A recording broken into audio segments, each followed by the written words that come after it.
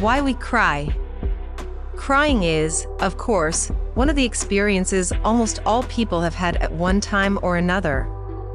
On the one hand, the process has a physiological benefit, as it helps to wash away debris from the eyes. However, its linkage to emotion seems to be unique to humans, and there isn't yet a consensus on why humans have developed this particular behavior, as emotional crying has no specific linkage to a physical benefit. Though there seem to be some chemical differences in emotional tears, there isn't yet a consensus as to what physical good crying does.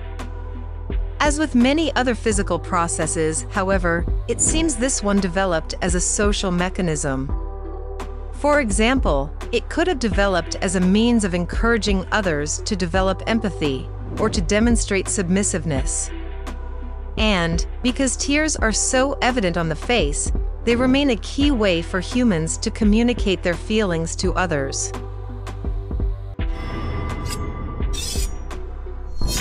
Why we laugh. While the reasons for laughter can vary widely from culture to culture, this does seem to be one of those things that binds humans together.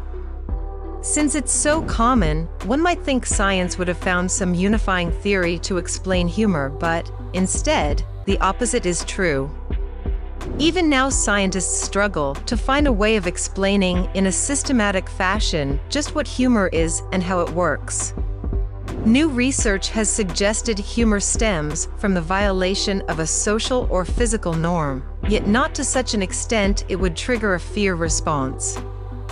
Some evolutionary biologists have also suggested laughter might have played a role in fostering social bonds and cohesion, and, since this would increase the odds of group survival, it meant such a behavior would be reproduced in the next generation. Still others have proposed humor might stem from the juxtaposition of expectations and reality.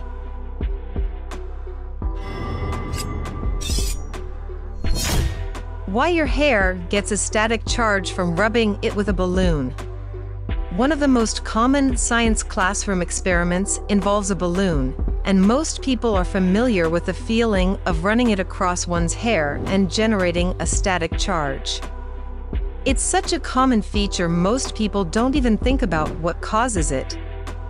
Scientists, however, have done so, but they remain unclear about the mechanisms involved or why it happens the way it does.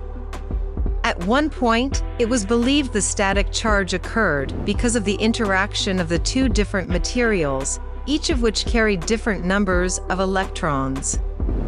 However, recent experiments have shown this particular explanation doesn't hold water, as it doesn't explain why static charges can also build up between objects of the same material. Even the prevailing explanation for this, which states the difference in size accounts for the charge, also doesn't work. The prevailing theory among researchers suggests there may be other molecules that are being transferred in the contact.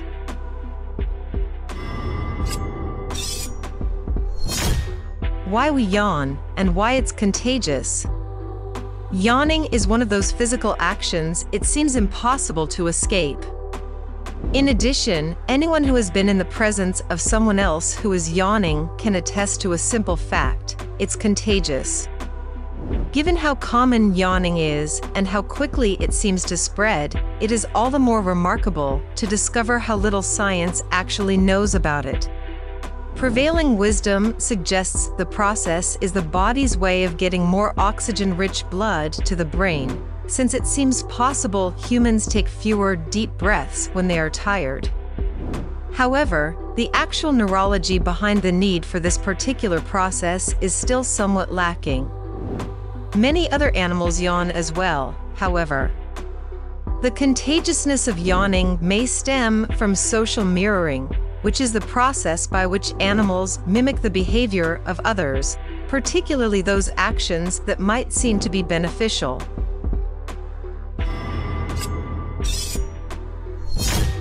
Why we sleep. Sleeping is, of course, an act with which everyone is familiar, given its necessity to human functioning. However, despite being a universal experience, scientists have yet to fully figure out just why humans or other mammals need it.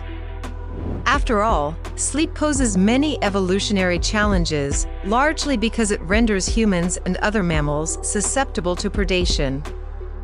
Experiments that have attempted to genetically remove the need out of subjects have never succeeded. Scientists also remain unclear as to the mechanisms the body uses to put itself to sleep, as well as how each individual determines how much sleep the body requires. However, though certainty eludes them, scientists do have some working theories about why humans need to sleep every day. Research suggests the brain conducts important maintenance during sleep, including forging connections between different parts of this vital organ. What's more, the brain has also been shown to clean out waste chemicals during the time when people are sleeping.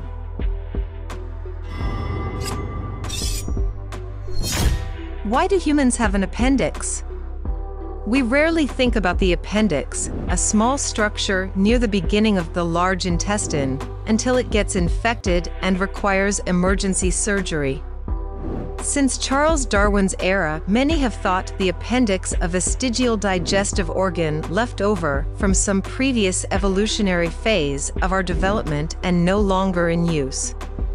But in recent years, scientists have realized that many other mammals, including koalas and beavers, have appendixes. The tiny organ might be part of the immune system, assisting the body's defenses by storing healthy gut bacteria.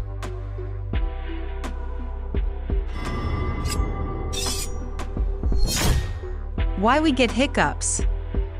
Getting the hiccups can be a truly unpleasant experience, particularly if they do not go away quickly. Most people have experienced this unpleasant sensation at some point in their lives, and while they often go away on their own, they can last for a surprisingly long time.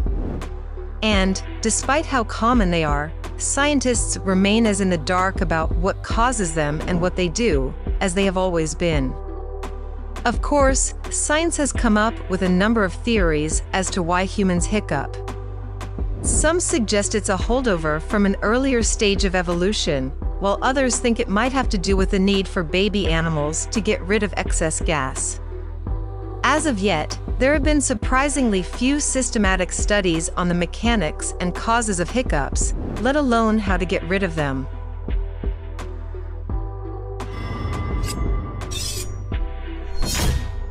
How anesthesia works. Anyone who has undergone any kind of surgery has had an encounter with anesthesia. It is, after all, the phenomenon that has allowed such invasions of the body to be far less painful than they were in the past.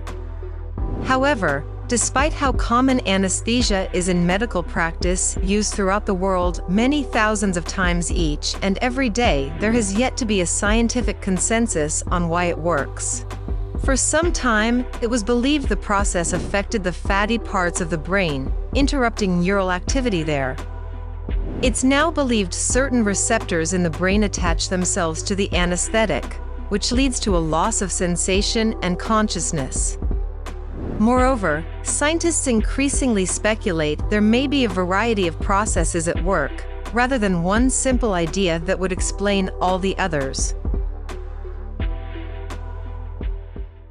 Thank you for watching, and don't forget to subscribe.